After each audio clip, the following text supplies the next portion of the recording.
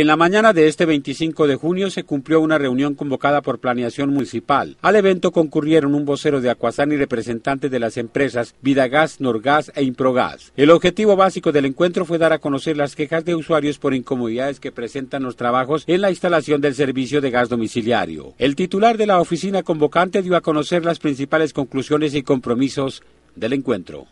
Ellos deben dejar eh, igual o mejor en mejores condiciones los sitios donde ellos están adelantando trabajos.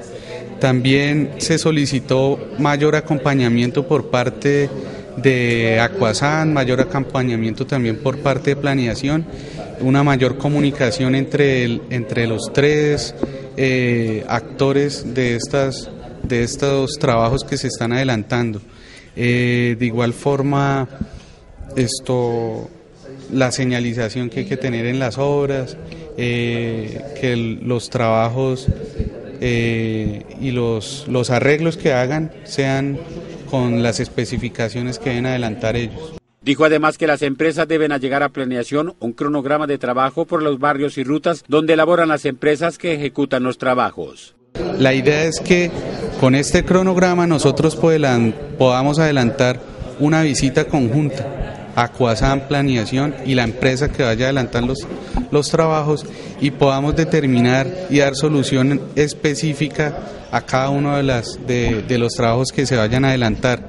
Entre las empresas a cuyo cargo está la ejecución de trabajos sobre las vías figuran Improgas, Nacional de Servicio de Gas y Gasán. Uno de los voceros habló a nombre de las empresas, reconoció las dificultades más comunes que se presentan. Se presentan incomodidades, hemos cambiado, hemos mejorado en cuanto al uso de equipos, hemos pasado de la porra a tener eh, martillos neumáticos, eso causa más ruido, causa algunas eh, inconformidades para los usuarios, a veces consideran que se les dañan los andenes más con un martillo que con una porra. Además dijo que todos los trabajos de servicios públicos causan incomodidades. Sostienen que van a aumentar los equipos de trabajo. Les pedimos disculpas por los daños que se presentan, las incomodidades. Queremos mejorar y nos hemos comprometido hoy con Planeación Municipal en mejorar bastante en cuanto a la ligereza en los temas del rompimiento, el acabado y la limpieza.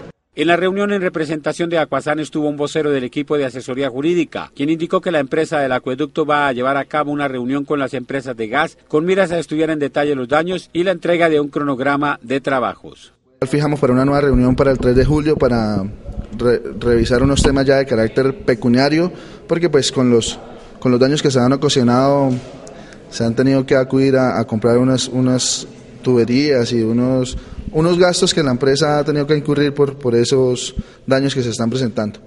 Las empresas que prestan el servicio de gas domiciliario se comprometieron con planeación municipal a entregar un cronograma detallado del trabajo en los sectores donde están ejecutando obras. Además, se buscará que un funcionario de Acuazán esté supervisando las obras en desarrollo.